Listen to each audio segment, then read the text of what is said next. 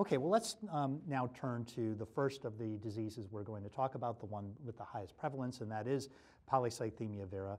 Uh, Robin, why don't you guide us through some of the initial steps in your clinical evaluation of these patients and challenges in making the diagnosis? Sure. So the most typical referral I'll get is for erythrocytosis. And really the question is, is it primary or is it secondary? Certainly getting erythropoietin level can help with that, and especially if I see that EPO level being um, low, really clues me in that something might be going on in the bone marrow.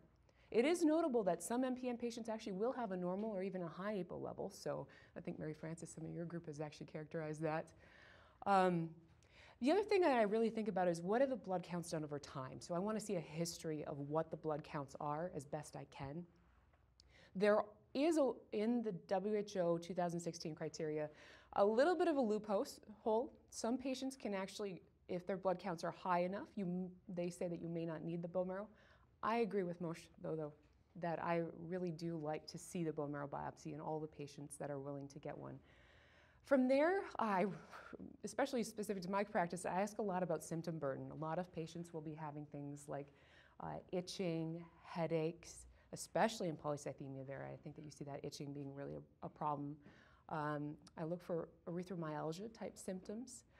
But otherwise, uh, spleen-related symptoms, especially if splenomegaly is present, so abdominal discomfort, early satiety. There also can be constitutional symptoms, things like night sweats, fevers, uh, generalized fatigue.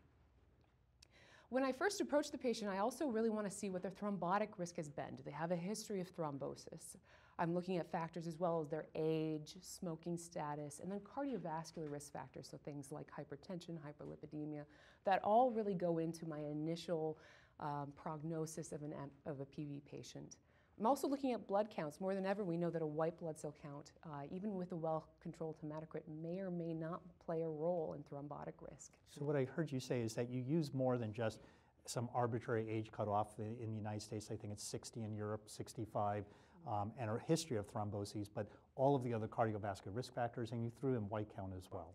I, I am interested in that. Uh, so uh, I think along with John's group and then our group as well, we've been kind of looking at this to really better understand what the role of the white blood cell count is. Um, we, uh, we did a specific analysis of the VA database where it, even with well-controlled hematocrit, it did seem to play a role, but then we also recently looked uh, at another cohort of PV patients where it didn't play as much of a role. Uh, the real question is, in a prospective study, what happens if you control the white blood cell count? And that's really, uh, I think, where the critical uh, issue is going to be in the future. So, so John, so um, let's say you have a patient who, you know, doesn't have splenomegaly or symptoms, but um, has a high hematocrit. You can control them with phlebotomy, put them on aspirin, but their white count is just consistently above normal. Is that a patient you would give cytoreductive therapy to? So, you know, I think um, the answer is it's complicated um, because the problem is um, our, I think our understanding, although it has increased over the last few decades, um, we still don't totally understand, I think, the, the mechanisms at play that really promote thrombosis.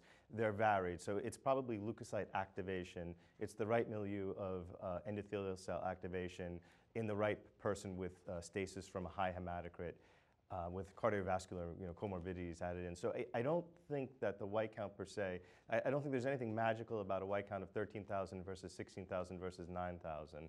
Um, and I, the problem I have is many of the guidelines um, talk about uh, uncontrolled polycythemia vera with high white counts and controlling the white count, but there's very little data actually uh, available, prospective data, that would suggest that controlling the white count actually affords the patient a risk reduction in thrombosis or progressive disease. And as Robin mentioned, we did a, a retrospective study that's presented here at ASH of over 11 centers throughout the United States, um, over 500 patients in total. Um, and using a trajectory-based model, we really found no association with uh, elevation of the white count and thrombotic risk.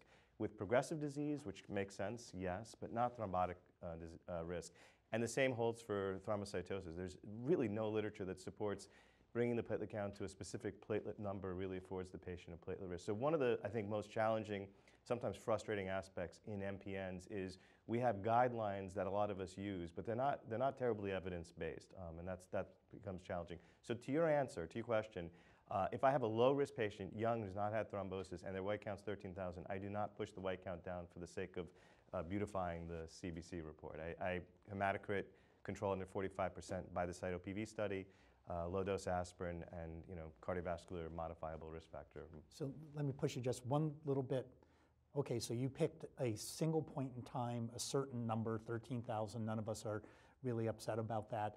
But how about over time if you see 11,000, 13,000, 15,000? Does the trend, the kinetics change your decision making? So again, you know, we did this uh, study that would suggest that uh, even the trends, even up to 35,000, don't predict thrombotic risk. So it's it's still unclear. Now, if one has a more overarching goal of disease course modification, one can make the argument that employing drugs, perhaps like interferon alpha, may have a more overarching benefit, um, both thrombotic and disease course modifying. But really, we don't we don't have great evidence that that reducing that platelet that uh, white count to any specific number affords the patient any immediate benefit.